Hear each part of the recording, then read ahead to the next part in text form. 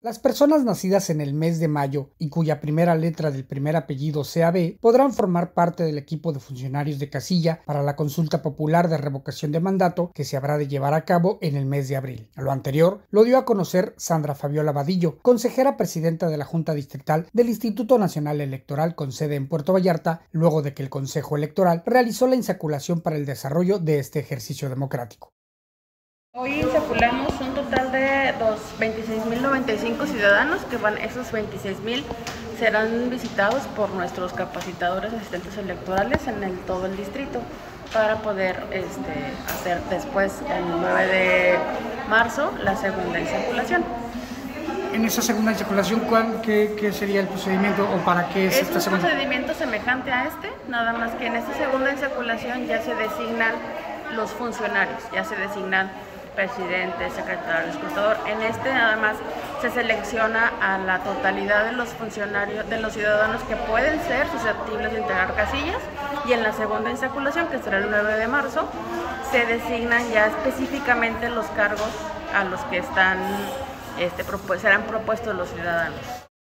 Se trata de tres funcionarios, presidente, secretario y un escrutador, así como dos suplentes, quienes habrán de conformar las 182 casillas distribuidas en los ocho municipios que conforman el 05 Distrito Electoral, de los cuales aproximadamente el 80% serán instaladas en Puerto Vallarta.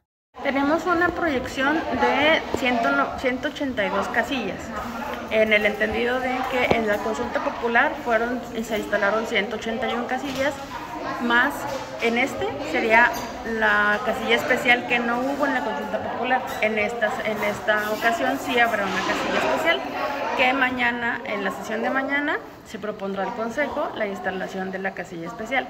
Y sí, son tres funcionarios y, un dos suplentes. Entonces es menor la cantidad de funcionarios que se están solicitando ahora, porque solamente es, es una papeleta muy simple de contar, o sea, es solamente un sí o un no. Entonces, por eso son menos.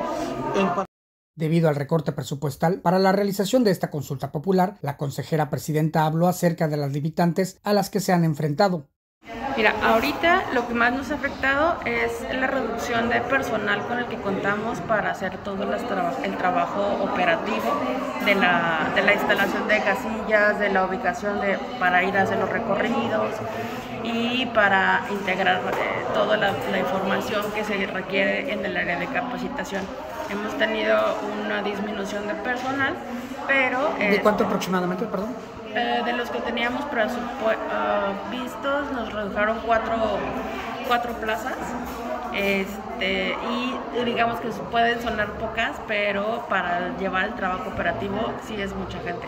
Será el martes 8 de febrero en el que el Consejo Electoral habrá de definir la sede de las casillas electorales y para el 9 de marzo se llevará a cabo la segunda insaculación para determinar el cargo que desempeñarán las personas que fueron insaculadas. Señal informativa Javier Frías.